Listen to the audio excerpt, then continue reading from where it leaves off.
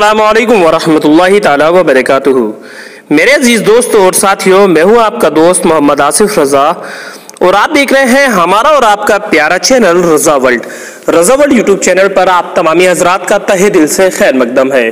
میرے عزیز دوستوں اور ساتھیوں آج میں آپ حضرات کے لیے ایک بہت ہی خوبصورت واقعہ لے کر کے حاضر ہوں، بے موسم پھل یعنی بے موسم فروٹ کا ملنا۔ میرے دوست اور ساتھیوں جیسا کہ آپ تمام ہی لوگ جانتے ہیں کہ کوئی بھی پھل موسم کے حساب سے ملا کرتا ہے، لیکن ایک اللہ کے ولی کا ایسا واقعہ آپ حضرات کی خدمت میں لے کر کے حاضر ہوں کہ انشاءاللہ تعالی یقیناً آپ لوگوں کو یہ واقعہ پسند آئے گا۔ ویڈیو شروع کرنے سے پہلے میرے عزیز دوستو میرا آپ تمام ہی لوگوں سے گزارش ہے، اگر آپ چینل پر نئے ہیں، چینل کو سبسکرائب کر لیں، ساتھ ہی ساتھ بیل آئیکن پریس کر لیں، جس سے کہ آنے والی ہر ویڈیو کی نوٹیفیکیشن آپ لوگوں تک سب سے پہلے پہنچتی رہے۔ آج ہم بات کرنے والے ہیں اللہ رب العزت کے ایک ایسے ولی کا واقعہ۔ انشاءاللہ تعالیٰ آپ تمامی لوگوں کو پسند آئے گا یہ واقعہ۔ اس سے پہلے میں تھوڑا سا تعارف کرانا چاہتا ہوں۔ آج ہم بات کرنے والے ہیں حضور سرکار نوری میاں رحمت اللہ تعالیٰ علیہ کے بارے میں۔ وہ نوری میاں جو حضور مفتی اعظم ہند رضی اللہ تعالیٰ عنہ کے پیر و مرشد ہیں۔ اور آپ کے والد محترم سرکار اعلی حضرت، امام عشق و محبت، حضور سرکار اعلی حضرت رضی اللہ تعالیٰ عنہ کے پیر و مرشد سرکار آل رسول مارہ روی ہیں۔ اور مارہ مقدسہ میں جو کتب آرام فرما ہیں، انہی میں سے آپ ہیں۔ جیسا کہ آپ تمامی لوگوں کو بتا دیں مارہ مقدسہ میں ایک ہی چھت کے نیچے سات کتب آرام فرما ہیں، انہی میں سے آپ ہیں۔ یعنی سرکار ابو الحسین نوری میاں، وہ نوری میاں جن کا گھر کا ہر ایک بچہ بچہ نوری ہے۔ تبھی تو حضور سرکار اعلی حضرت رضی اللہ تعالیٰ عنہ اپنے لفظوں میں کیا خوب بیان کرتے ہیں، کیا خوب تعریف کرتے ہیں۔ حضور سرکار اعلی حضرت رضی اللہ تعالیٰ عنہ فرماتے ہیں کہ تیری نسل پاک میں ہے بچہ بچہ نور کا، تیری نسل پاک میں ہے بچہ بچہ نور کا۔ تو ہے این نور، تیرا سب گھرانہ نور کا۔ تو آج اس گھرانے کے بارے میں بات کرنے والے ہیں جس گھرانے کا ہر بچہ بچہ نور ہے۔ آپ لوگوں کو بتانا چاہ رہے ہیں، واقعہ باغور سماعت فرمائیں۔ چینل پر بنے رہے ویڈیو کو ذرا سا بھی اسکپ نہ کریں۔ حضرت حکیم اشفاق حسین بریلوی فرماتے ہیں کہ حضور اقدس کے قدم بوسی لیے اور مارہرہ مترہ حاضر ہوا۔ رات میں حضور بالا نے ارشاد فرمایا یعنی حضور سرکار نوری میاں رحمت اللہ تعالی علیہ نے ارشاد فرمایا کہ حلیم صاحب آم کھانے کو جی چاہ رہا ہے، بازار سے آم لے آئیے، لہٰذا آج ہم آم کھائیں گے۔ میں نے عرض کیا، حضور رات کے دس بج چکے ہیں، دکانیں بند ہو چکی ہیں، مارکیٹ بند ہو چکی ہے اور دوسری طرف آم کا موسم بھی ختم ہو چکا ہے۔ اب آم کہاں مل سکتا ہے؟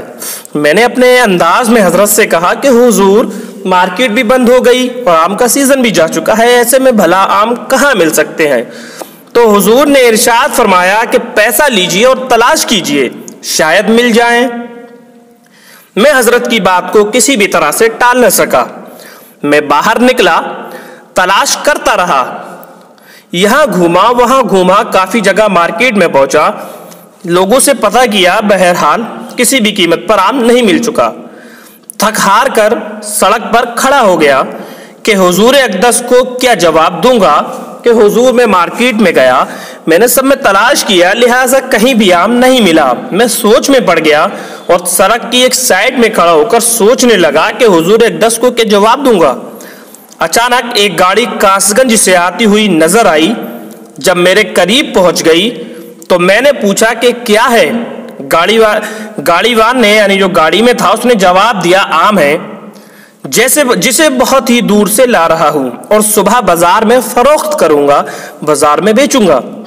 میں نے اس شخص سے آم خرید لیے اور خرید کر بارگاہ اقدس میں پیش کیے۔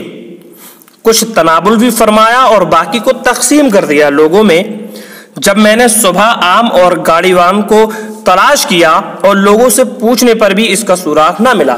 یعنی اس وقت ہم نے آم کھائے، حضرت نے بھی کھائے اور اس کے علاوہ لوگوں میں وہ آموں کو تناول فرما دیا۔ صبح جب میں مارکیٹ میں نکلا، میں نے تلاش کیا اور لوگوں سے پوچھا کہ یہاں پر کوئی شخص ایسا ایسا گاڑی لے کر کے آیا تھا جو کہ آم بیچ رہا تھا۔ لہٰذا کافی لوگوں سے معلوم کیا، کافی لوگوں سے معلومات کی۔ اس کے باوجود نہ ہی اس آم کی گاڑی کا کہیں پتہ چلا، نہ سوراخ ملا اور نہ ہی کوئی ایسی خبر ملی کہ گاڑی والا کوئی آم لے کر کے آیا تھا۔ لہٰذا یہ اللہ رب العزت کے ولی ہیں اور وہ نوری خاندان سے تعلق رکھتے ہیں کہ یقیناً ان لوگوں کی ہر دعا رب العزت قبول فرما لیا کرتا ہے۔ اب یہ تو اللہ رب العزت بہتر جانتا ہے یا وہ حضور سرکار نوری میاں بہتر جانتے ہیں کہ وہ عام والا کون تھا یا اللہ رب العزت نے کس فرشتے کو یا کس کو کس شکل میں بھیج دیا تھا عام لے کر بہرحال اللہ رب العزت اس چیز کے بارے میں بہتر جانتا ہے۔ لہٰذا اللہ رب العزت کے ولیوں میں وہ طاقت ہوا کرتی ہے، یہ اللہ رب العزت کے خاص دوست ہوتے ہیں۔ اور جب اللہ رب العزت کے قریب ہو جاتا ہے کوئی بھی شخص، تو اس شخص کے لیے ہر چیز آسان ہو جاتی ہے، ہر راستے آسان ہو جایا کرتے ہیں۔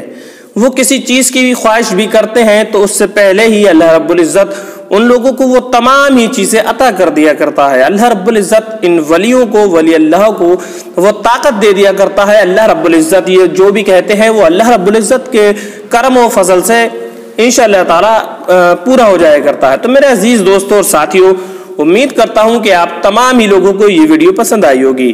یہ بہت ہی اچھا اور بہت ہی خوبصورت واقعہ ہے۔ انشاءاللہ تعالی آپ تمام ہی لوگ اس واقعے کو دل کھول کر کے شیئر کر دیں اپنے عزیز رشتہ دار اور دوستوں میں۔ تاکہ زیادہ سے زیادہ لوگوں تک یہ ویڈیو پہنچے اور لوگ اس واقعے کو سمجھ سکے۔ ملتے ہیں کر کامیاب ویڈیو کے ساتھ۔ تب تک کے لیے اللہ حافظ دعا خیر۔